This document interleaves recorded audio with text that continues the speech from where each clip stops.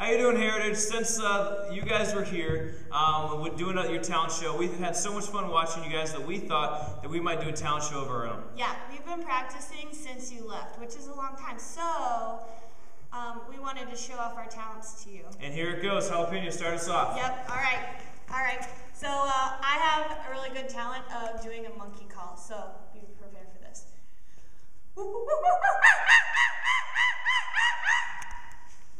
And I can do three cartwheels in a row. Here it goes. I'll start on this side because I'm better with my right hand. Ready? One, two, three. Your turn, Jalapeno. All right. I have a sweet dance move that goes like this. All right, Everest.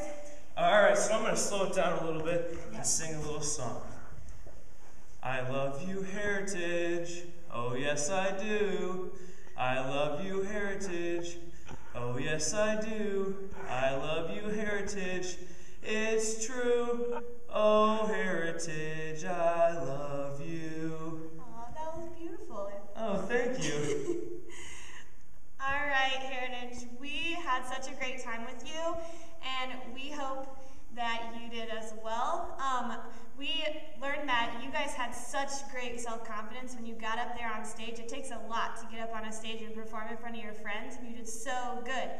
And so, yeah, now what we want you guys to do is uh, talk with your classmates and talk about which of the foundations for success you've used the most since you have left camp and gotten back at school. And uh, have a great rest of your school year, and um, hopefully see you again soon. see Bye. ya.